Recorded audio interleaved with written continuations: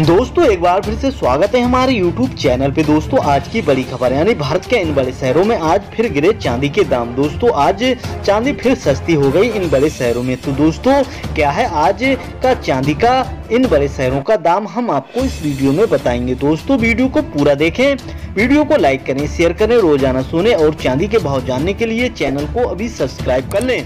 तो दोस्तों, आज भारत के इन बड़े शहरों में चांदी के दाम कुछ इस प्रकार रहे हैं। दोस्तों, आज चेन्नई में एक किलो चांदी सत्तर हज़ार दो सौ रूपए की है। दोस्तों, मुंबई में और नई दिल्ली में, कोलकाता में, बेंगलोर में, हैदराबाद में और दोस्तों, पुणे में आज एक किलो चांदी पैंसठ हज़ार रूपए की है।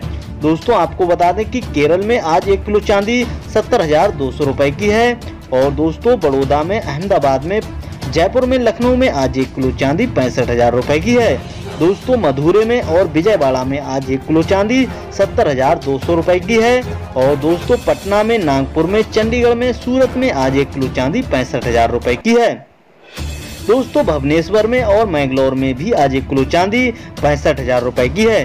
दोस्तों, विशाखापट्टनम में आज एक किलो चांदी सत्तर हज़ार दो सौ रूपए की है। और दोस्तों, नासिक में और मैसूर में आज एक किलो चांदी पैंसठ हज़ार रूपए की है।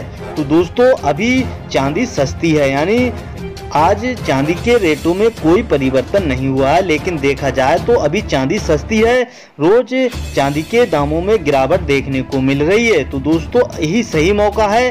चांदी खरीदने का इन बड़े शहरों से खरीदें। इन बड़े शहरों में अभी सस्ती है चांदी। तो दोस्तों, ये तो था आज का इन बड़े शहरों का चांदी का करेक्ट भाव। दोस्तों, रोज़ाना सोने और चांदी के भाव जानने के लिए चैनल को अभी सब्सक्राइब कर लें। दोस्तों, आपने अपना कीमती समय दिया, इसलिए आपका बहुत